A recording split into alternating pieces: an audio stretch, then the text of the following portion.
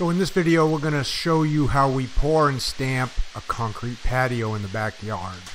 And if you're wondering what this is going to look like, it's going to look like this when we're all done.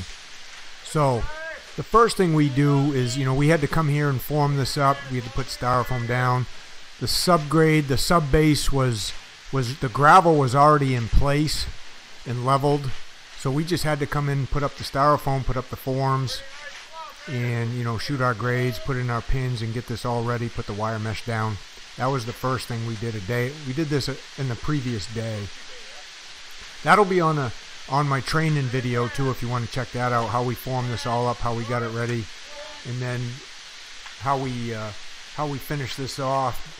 But you're going to get to see us pouring and stamping this in this video here.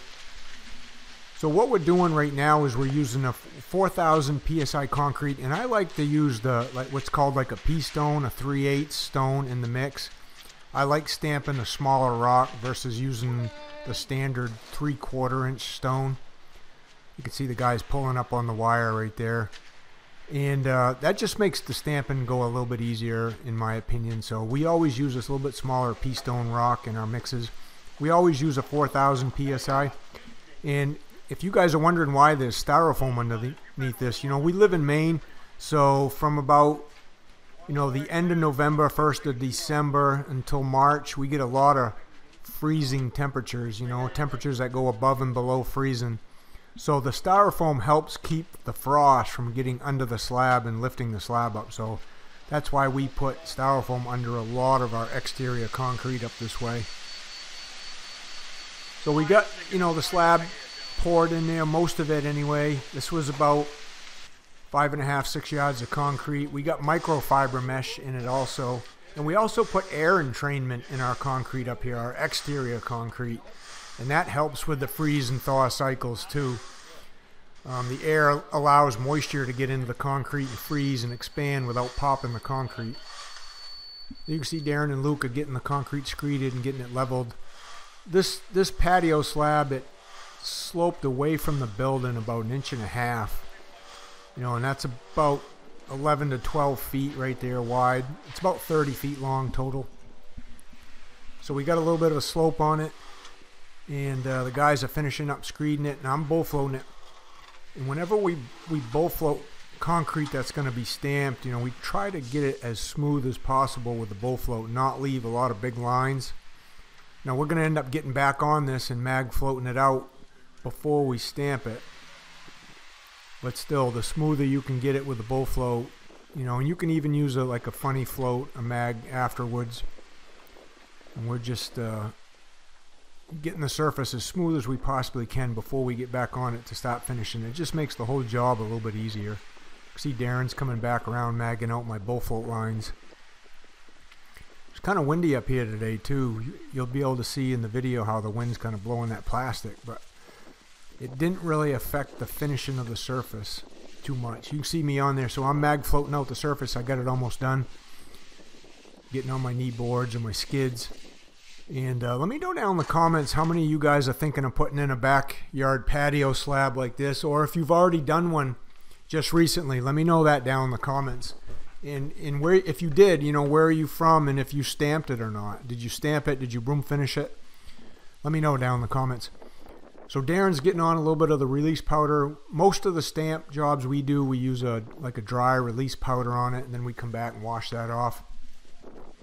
We're also using an Ashlar slate stamp here on this one, so we're we're laying the stamps down, and they all kind of connect together a certain way. So we're making sure they're all in the same pattern, and we'll get them all down get them across the slab. Usually, we, you know, there's about 11 of them that come in a set. This set has about 11. And then we'll start tamping them and just keep moving them forward. This actually dried really well for us today. The concrete, it's a little, it was a little chilly out, and the concrete company had like a hundred degree water, which is basically just warm water for concrete. So the concrete was a little bit warm today and that helped it set up a little bit so it made the the process go a little bit easier for us as you can see we got sweatshirts on so it was a little chilly up here we're on a lake too so that made it a little bit colder Do you guys, how many of you guys watching do stamp concrete? Do you stamp concrete? Do you use the dry release powder like we do, or do you like the liquid release powder? Which one do you like better? Sometimes, you know, we use both. Mostly probably the dry release powder. And that, what that does is it leaves a, like a secondary color in the concrete. So we, we added an integral color in the concrete. We added some dark gray and then we're using this black release so it gives the it gives the stamped concrete like a two-tone antiquish type look when we're done washing it and sealing it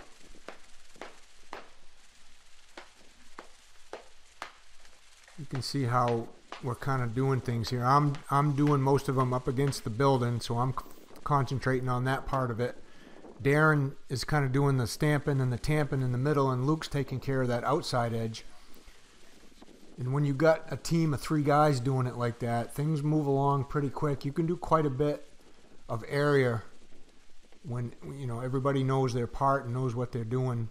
When you don't, you know, if you only got two guys or only one guy that knows what he's doing and two people that don't, then you know, you don't want to tackle too much of an area at a time. this type of stamp, this Ashlar Slate stamp, you know, it's got a pretty deep groove in it, so you don't want to wait too long until you get on the concrete. I've got, I've actually got a stamp concrete course that's down in the description, guys, where I teach you, you know, the timing of when to get on it. And that's also in my, my private training, the Concrete Underground, which is down in the description too if you want to check that out you can see how we're moving along. You know, Luke's got all those columns to go around. They're kind of they're kind of wrapping the stamps around those columns to get the the good texture around there and get the groove lines in there. And I'm I'm wrapping stamps up the flexible stamp up the building to do the stones that are up against the building. And then we're just touching them up with our touch-up tools to make sure all the grooves went in really nice. And this is me. I came back a couple days later. I let it set up for a couple days, and I came back, and now I'm washing the release powder off.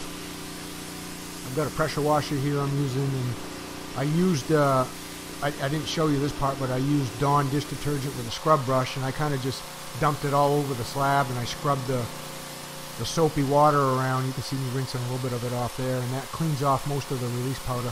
All that stuff, all that training is in those videos I talked about earlier down below if you want to check them out and learn how to do that. So we'll we'll wash this off, then we'll give it a day or two to dry up, and then we'll come back and put the seal on it. That's the normal process for us. But this is basically what it looks like when we're done. Let me know if you like it, guys. Give me a thumbs up if you like this kind of stuff. Hey everybody, Mike here. We just finished up this stamped concrete patio on this new home here. up on uh, Messalonskee Lake in Oakland, Maine. So I just got it all washed today and cleaned. Got it sawed. See a saw cut right there. Now we just got to let it dry out so we can put the sealer on it. So we'll have to give it a few days. It's raining here today, but this is it.